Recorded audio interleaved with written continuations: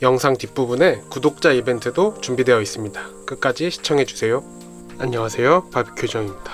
오늘 영상은 한우 숯불구이 바베큐의 모든 것 오늘 제가 준비한 한우는 새우살, 토시살, 부채살, 안심, 갈비살, 먹진살, 차돌박이 거기에 제비추리까지 제가 직접 8가지 종류의 한우를 준비해왔고요. 거기에 6g에서 무상으로 한우 선물 세트를 협찬해 주셨습니다. 1%를 위한 온라인 정육 브랜드라 선물 포장도 아주 고급스럽습니다. 6g의 뜻과 고기를 맛있게 굽는 법도 적혀 있습니다.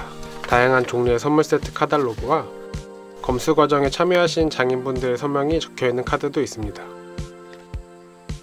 보내주신 제품은 한우 원 플러스 dry aging 제품으로 등심 3팩과 채끝 등심 1팩 6g의 dry aging 한우는 많은 언론과 유튜브에도 많이 노출된 dry aging으로 유명한 서동 한우입니다.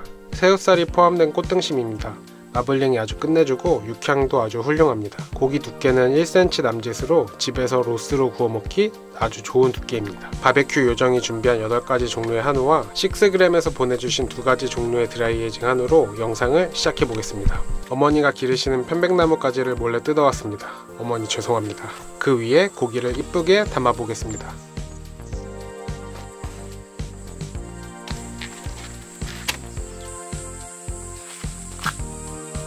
트러플 소금, 참기름, 와사비, 영양부추, 쪽파, 대파, 애호박, 송화, 새송이, 맛간장까지 여러가지 재료들을 준비해 한우와 맛있게 먹어보겠습니다.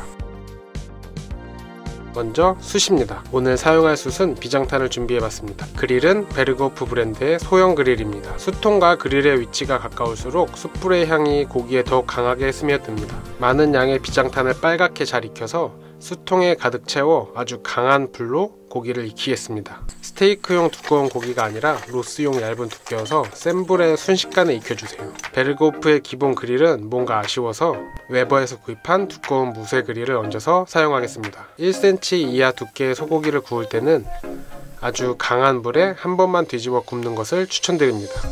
그릴 마크가 진하게 나타나서 시각적으로 더 먹음직스러운 느낌을 줍니다.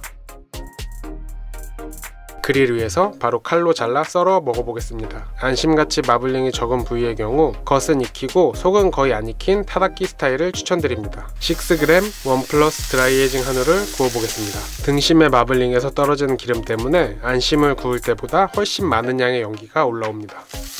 마블링이 많은 고기일수록 그만큼 수창이 더 강하게 스며듭니다. 많은 양의 기름진 부위를 숯불에 구워 먹을 때는 맛간장을 이용해 브러쉬로 고기에 발라주면서 구우면 은은하게 고기에 눌어붙은 간장 소스가 기름진 고기와 잘 어우러지면서 색다른 맛을 느끼게 해줍니다. 숯불에 굽다 무쇠 그릴에 구워 맛을 한번 비교해봤습니다.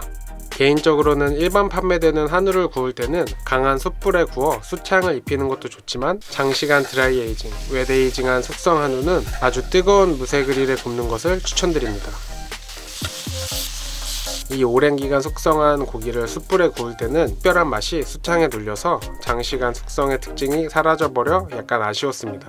지금 나오는 두 영상도 dry aging한 한우를 숯과 무쇠 그릴에 구워봤을 때 숯이 조금 터프하고 rough한 느낌이라면 무쇠 그릴은 고기 특유의 향과 맛을 섬세하게 살려줍니다. 일반적인 한우는 숯불을 추천드리고 프리미엄급 숙성 한우는 무쇠 그릴을 추천드립니다. 다양한 부위를 로스로 먹는 한우는 부위에 따라 먹는 순서도 정말 중요합니다. 크게 마블링이 적은 부위에서 마블링이 많은 부위의 순서로 가고 마블링이 적은 부위에서는 육색이 연한색에서 진한색으로 넘어갑니다. 마블링이 많은 부위 같은 경우 새우살, 안창살, 살치살 등을 먼저 붓고 다음으로 등심, 채끝 등심으로 넘어갑니다. 차돌박이와 갈비살은 마지막에 술안주 느낌으로 조금씩 구워가면서 먹는 방법을 추천드립니다. 갈비살과 차돌박이는 식감과 씹을수록 퍼지는 기름 맛이 아주 일품이라 술안주로 아주 훌륭합니다. 무쇠솥에 밥을 지어 다양한 한우를 올려 한우 솥밥을 만들어 보겠습니다. 고기에 바른 맛간장을 밥에도 뿌려 주었습니다. 그 다음 영양부추와 쪽파를 다져서 올려줍니다. 이제 숯불에 구운 다양한 부위의 한우를 차곡차곡 올려주고 버섯도 사이사이 넣어주었습니다. 고기 위에 전체적으로 맛간장을 뿌려주고 느끼함을 잡아줄 와사비도 한쪽에 놓습니다. 고소함과 시각적 효과를 더해줄 계란 노른자 참기름을 전체적으로 한번 둘러주고 다진 영양부추와 쪽파를 조금씩 올려주면서 마무리했습니다. 정말 다양한 맛이 조화를 이루며 숯불에 구운 한우와 잘 어우러져서 정말 끝내주는 맛을 선보입니다. 아, 또 먹고 싶... 강원도에서 온 송이와 식스그램에서 보내준 원 플러스 드라이에이징 한우를 무쇠 그릴에 구워서 야무지게 한번 먹어보겠습니다.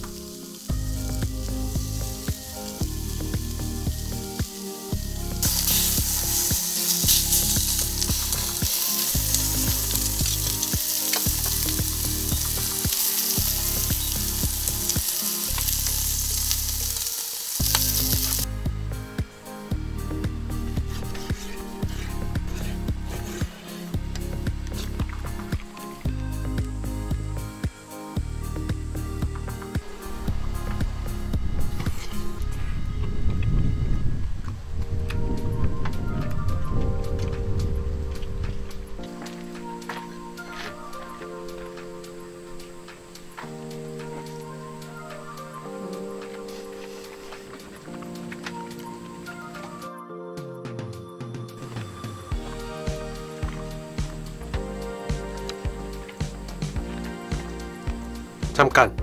스타벅스 frequency 캠핑 의자입니다. 제가 영상에 같은 모델로 사용 안 한 제품이 3개가 더 있어서 구독자분들 3분께 하나씩 무료로 나눔하려 합니다. 기간은 2020년 10월 16일 12시까지 댓글에 메일 주소를 남겨주시면 무작위로 선별하여 연락드리겠습니다.